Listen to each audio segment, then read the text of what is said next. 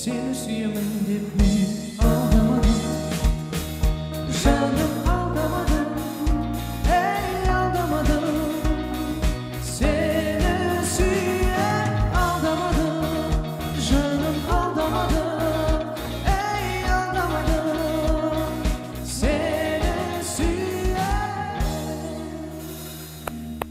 жұлдызды қонақтары жігер ауыпбаев айдос кәден. Бүгін сау кесер әнмен басталды иә иә.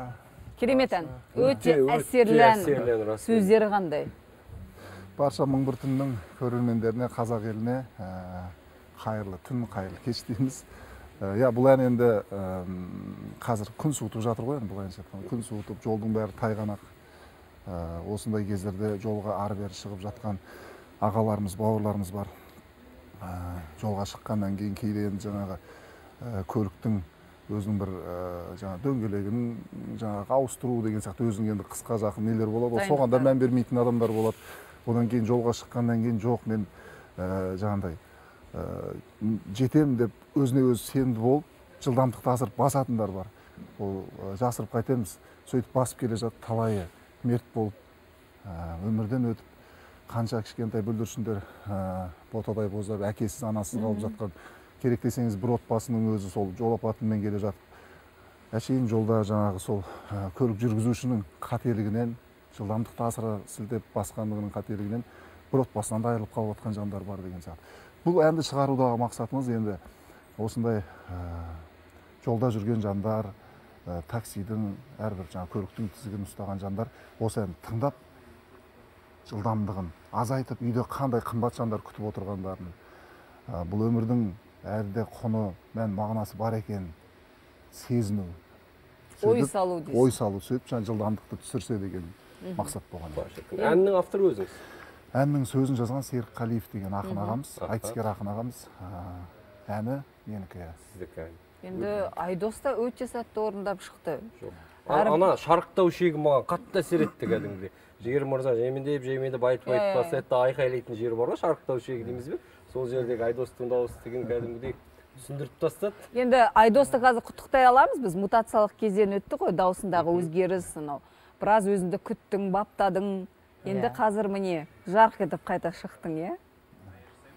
Бірақ дауыс қатты өзгеру ғой маған негізі иә? Иә негізінде бізге жаңа мынау осы фонятор дейді ғой осы дауыстың мамандары әншілердің дауыстарын қарайтын. Сол кісілермен осы айдостың жаңағы мутациясы дауыс өтпелі кезеңі басталған кезде біз кеңес алдық ол кісілерден сөйтіп әнді одан ары қарай айғайлап айтып жалғастыруын тоқтатсын әзірге деп. Сол кісілердің жаңағы ақыл кеңесімен сәл өзім өзімде бір ә, негізі менен де өтті ол жағдайда. Ол кездерде менің ұстазым марқұм болып кетті. Шманов амантай деген ұстазым болған сол кісі сол ә, жаңағы мутациялық кезеңнен мені әдемі алып шыққан болатын. Сол кісіден алған нәрсемді мен айдосқа үйретіп отырмын да былайынша айтқанда. Ә, кейде ойлайсың ә, жаңағындай бір ән жазу жағынан бір ә, қызғанып отырған сияқты болып сырт жаққа солай көрінеді ол. Иә Иә. шығармай қойды Иә, деп. шығармай айтқандар болған деген. ой көп ондай әңгіме. Ондай әңгіме көп. Қойшы бала жоқ болып кетті. Оны қалай деп түсіндіресің мутациялық кезең Иә, иә. оны ешкім түсіне бермейді. Ә, мына ер азаматтарды әсіресе енді қыз балалар жағында емес ер азаматтарда осындай дауыс жағынан өте қатты мутациялық кезеңде қатты қиналады жігердің ақшасы таусылған шығар ауылға жіберіп тастапты деп сосын- көп әңгіме болды ғой. Өзіңе жеке айтқандар болды ма? Иә. Ол көп болды енді ол енді білмегеннен кейін енді жігерден қатты ұқсап қалыпсың деме деп иә іріленіп бара жатыр бойда өсіп бойда өсіп иә дараланып бөлек болды жолыққан кездеріңізде нешеде еді айдос он төртте он төртте болатын қазір он жетіде ғой он төрттен он беске кетіп бара жатқан кезең болатын сөйтіп қазір енді бұл Қазір- да он жетіге келіп сабақ оқып жатырсың иә өсіп өніп алматы қаласында екі үш төртінші жалпы білім беретін мектептің он бірінші а сынып оқушысы биыл Биыл тәмамдайсың. бірыңғай Биыл. тестті бітіреміз. Негізі қай сабаққа бейімсің? Алғырсың. А, енді тарих неге жағына жақын қарай бересің? Жоқ тарих жағына мен былай өзім көбіне байқаймын ғой өтірік болған емес жоқ тарих жағына сәл жақын негізінде өзім бүйтіп қарап отырып бір жаңағыдай бір мағлұматты көре ма? Не болмаса бір жаңағыдай бір ә, цифрларға байланысты сөйтіп бір үлкен ірі тұлғалардың бір нәрсесін көрсе соны бірден ғаламторға салып зерттеп соны қарап отырады. Енді айдос негізі қарап жүрген жоқ екен. Фильмге түсіп тастапты осы аралықта. Қандай фильм айдос? Осыдан алты ай бұрын ә, шоқ дейтін. Үлкен метражды. Толық метражды фильм. Толық метражды киноға түстік. Ә, басты рөлді ойнадым. Ақан. Алғашқы Алғашқы кино иә. әлеміне алғашқы қадамы ғой былайша алғашқы қадам алғашқы бірден басты рөл. Керемет. Құтты- құтты болсын. Рахмет. Режиссерлер не деді? Қалай бағалады? Алысқа барасың деді ма? Мен айтты сол. Не айтса туралы. мақтанған сияқты болып қалады бірақ енді айтса сен мақтанғандай Мақтан- мақтан болады енді біз саған бүгін Мақтанған мүмкіндік беріп отырмыз сондай мақтан. Не деді? Жалпы кино не туралы?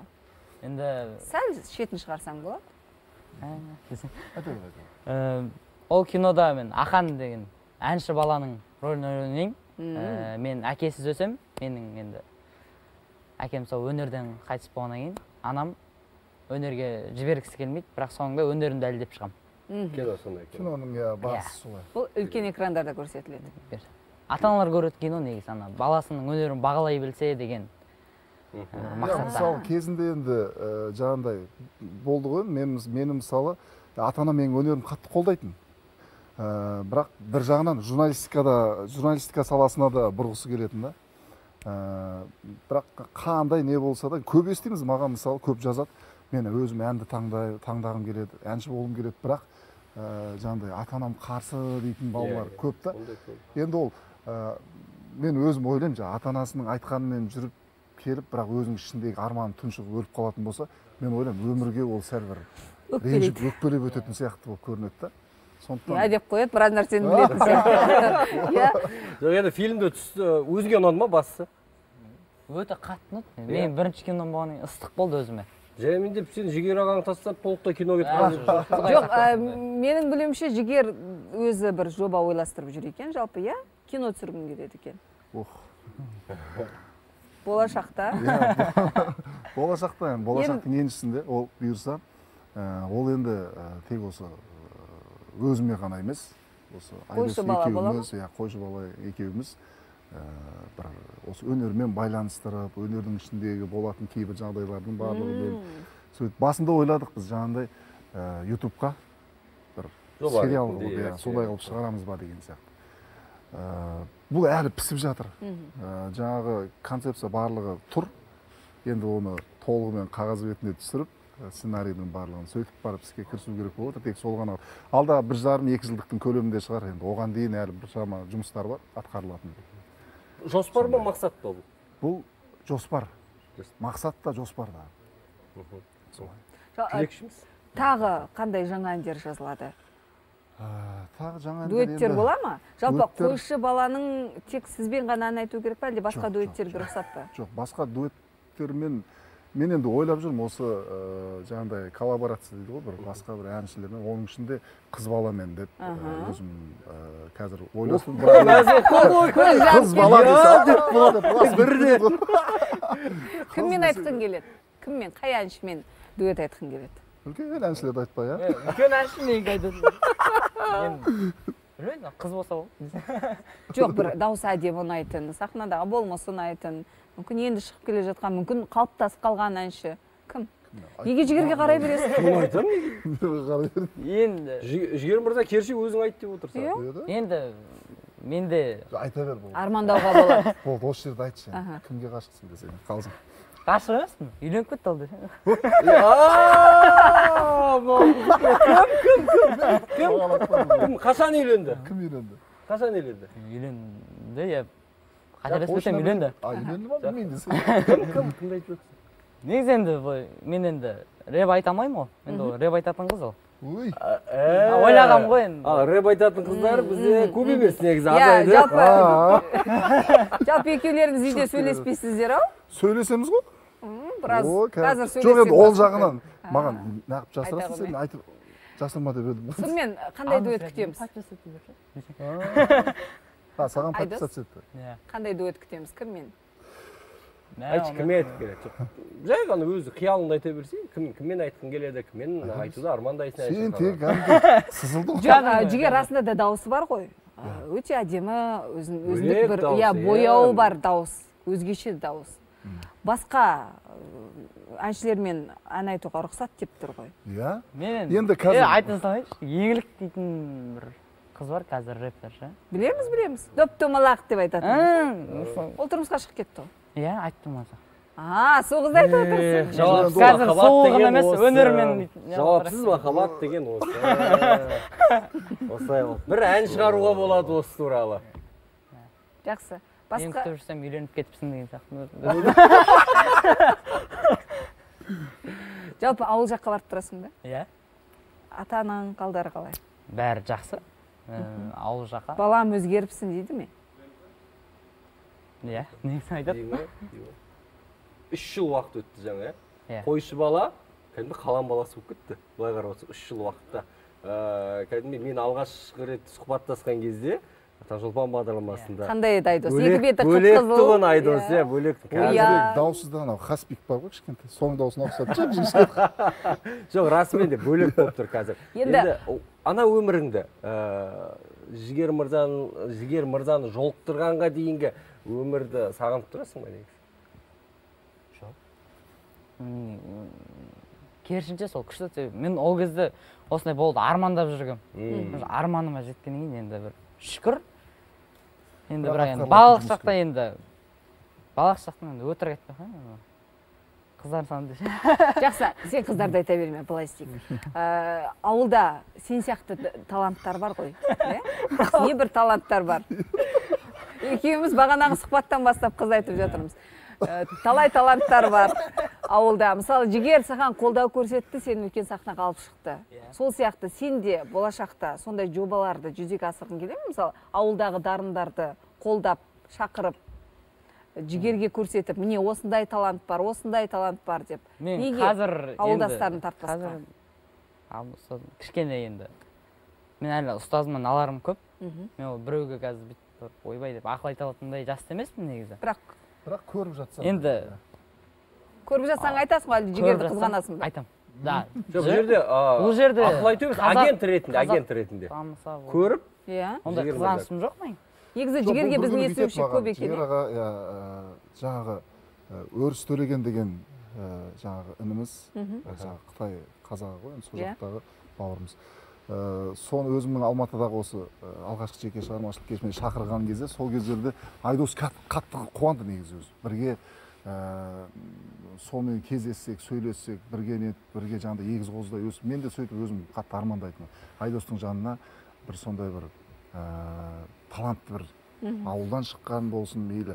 Маған өзімнің ауыл болсын әйтеуір бір- бір қазақтың баласы ғой Иә. қай жақта жүрсе де шетелде жүрсе де бір қазақтың баласы әйтеуір бірақ талантты болса соған бір көмегім тигізсе мен содан өзім ләззат алады екенмін ше. Ә, сөйтіп сонымен жаңағы өріс төлеген інімізді шақырдық олардың барлық жолын бәрін жасап беріп келді. Келгеннен кейін ә, екеуін таныстырып кәдімгідей екеуі бір біріне бауыр басып қалды. Ә, сол кездерде мен енді сырттан бәрі қарайсың ғой мені қызғанып қала ма екен деген сияқты. Жоқ ондай емес. Керісінше өзінің жаңағы ә, несін айтып ішкі жаңағы өзінің арманын айтып мақсаттарын айтып осылай істесек мынандай нәрсе өріс неге қалмады қастарыңызда? Өрістің қалмау себебі біріншіден анасы енді бәлкім енді өрістің өзінің бойында бір кішкене ә, денсаулығынан ақаулар бар екен. Ә, сол жағынан қатты алаңдаған болар. Себебі сол жақта өзі сол жақтың климатына үйреніп қалғаннан кейін бізге келгеннен кейін сәл жаңағыдай тұншығып қалып сөйтіп түшкіріп қайта қайта сондай болып жүр. Аллергиясы бар екен. Ә, одан кейін жаңағы ә, енді қатты алаңдаған болар. Мен барынша аяғына дейін айттым. Маған беріңіздер көзіне ота жасатайын көзді көрмейді ғой негізі. Алып барып жаңағы стамбулға алып барып өзіміз сол жақта бір клиника бар еді сонымен ота жасатқызып ә, алып жанарына бір кішкене бір нұр сыйлайық. Ә, соған себепкер болайық деген сияқты. Сөйтіп одан ары қарай өнеріне біраз қолғабыс көрсетейін деп айттым. Ә, бірақ кейіннен ол кісілер жақтан ешқандай кері хабар болмады. Содан кейін е, солай хайыр болған шығар дедік иә. иә. Енді бұйырса алдағы уақыттарда енді бұл қайта қайта мә бір қыз баламен дуэт айтсам дуэт айтсам дей береді да. Сонымен қазір сенімен дуэт айтқысы келетін бір кісі хабарласып тұр екен. Көрермен қабылдайықшы. Алло? Алло теледидардың дауысын өшіре салсаңыз қазір кедергі келтіреді бізге. Қайырлы түн тыңдап тұрмыз. Теледидардың дауысын басу керек көрермен. Алло. Алло. иә алло? Қайырлы түн Алло. алло қайырлы түн сұрағыңызды қойсаңыз кімсіз? Қайырлы күн, саламатсыздар ма? сәлеметсіз? Таныстырыңыз өзіңізді? Алло. иә көрермен сіз эфирдесіз. Тыңдап тұрмыз. Иә А. Ә, әзірге. Байланыс болмай жатыр. үзіліп- қымбатты көрермен бізде шағын ғана үзіліс. Содан соң қайтадан сіздермен қауышамыз.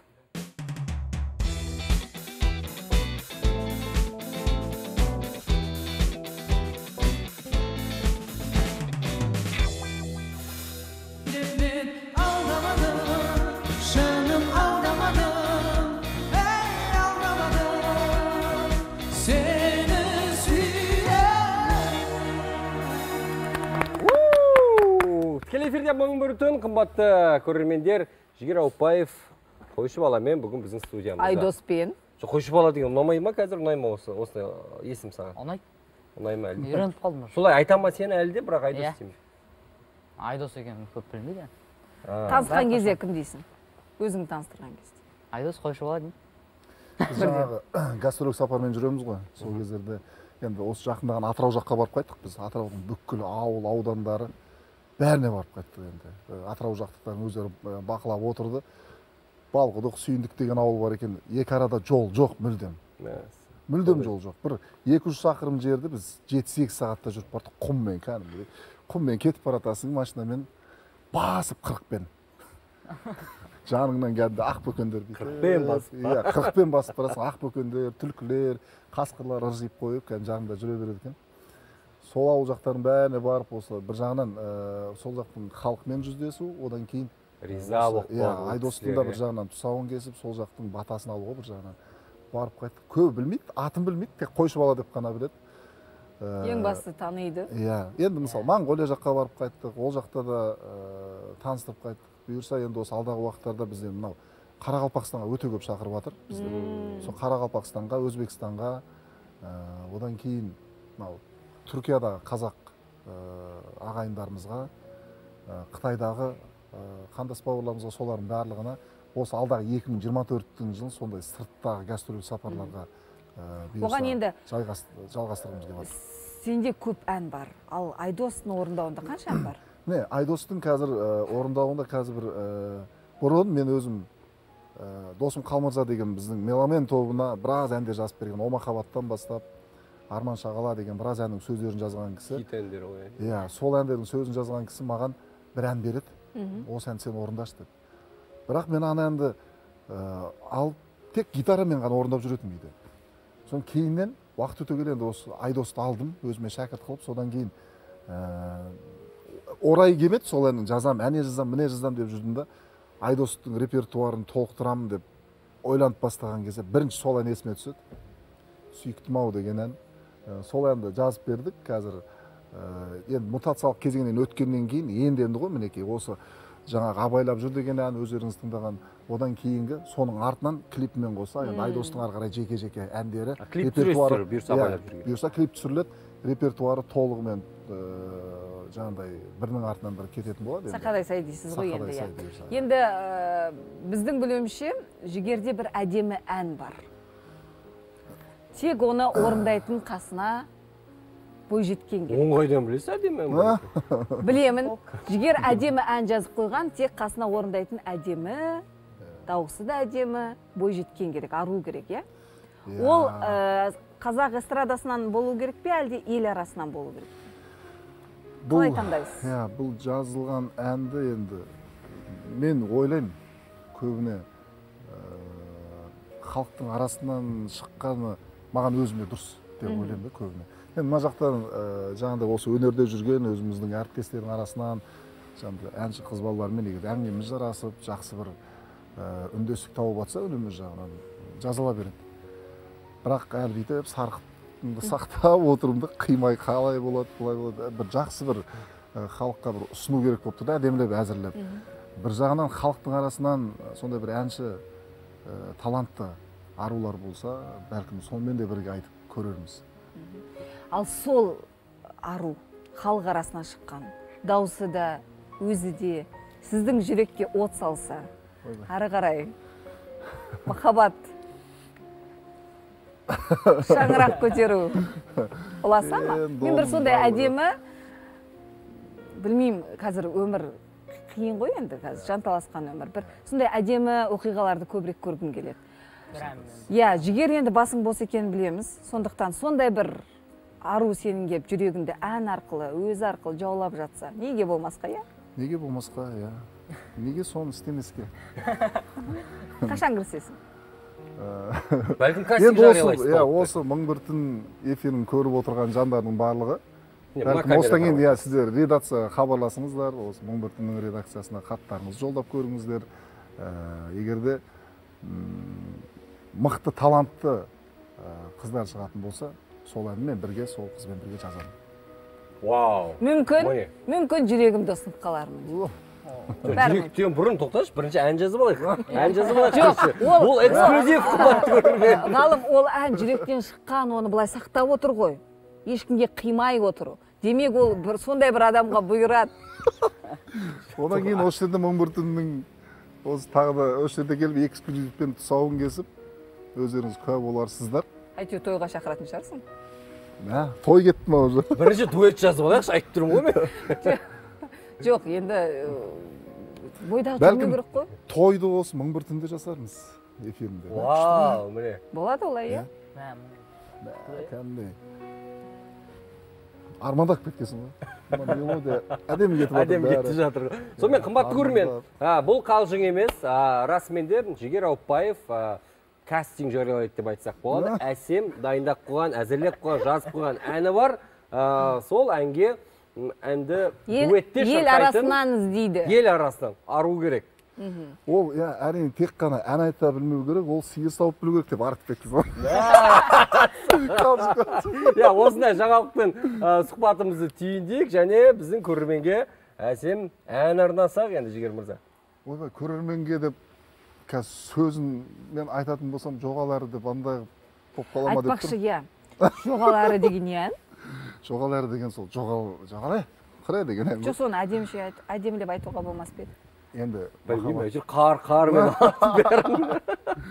Жоқ енді ол бұл әннің сөзін жазған мұхтар жақсылық деген ақын досымыз енді менің білуімше жігер сен сөзге мән бересің. Иә. Өте иә ал енді жоғал деген жоғал деген өте қатты айтылған. Өте қатты. Енді бұл жерде махаббаттың да бір тек әйтеуір бір таусылмайтын ойбай сезім деп кішкене осындай жақтарын да айтуға болатын шығар енді бұл да өмірде болатын нәрсе. Мысалы енді ә, эмоцияға беріліп е жоғал кетші бар болды деп екі жаққа кетіп жататын жандар да болады сөйтіп айта ма? Ой көп саған айтты ма біреу? Өзің айтқан жоқсың ғой әйтеуір. Күрсіндің ғой.